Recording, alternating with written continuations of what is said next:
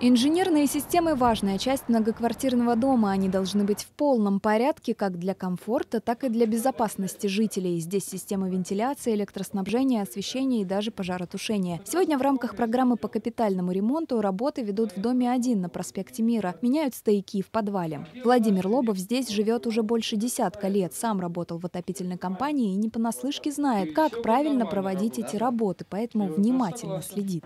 Сегодня как бы я воочию увидел, что действительно будет проводиться капитальный ремонт, замена стояков до девятого этажа, то есть полностью ремонт сделать. Не просто в подвале заменить арматуру, отопительную, горячую там, в этом году капремонт провели уже почти в полутора сотнях химкинских домов. Как будут проводить работы в 2019-м, этот вопрос подняли на оперативном городском совещании с главой муниципалитета Дмитрием Волошиным. В планах ремонт в 80 многоквартирных домах. Эти списки уже существуют. Проконтролировать правильное исполнение работ намерены в администрации округа.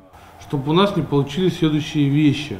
Когда есть какой-то дом, который необходимо ремонтировать было давным-давно, он не включен, а дом, который построен намного позднее и находится в состоянии лучше, он каким-то чудным образом включен.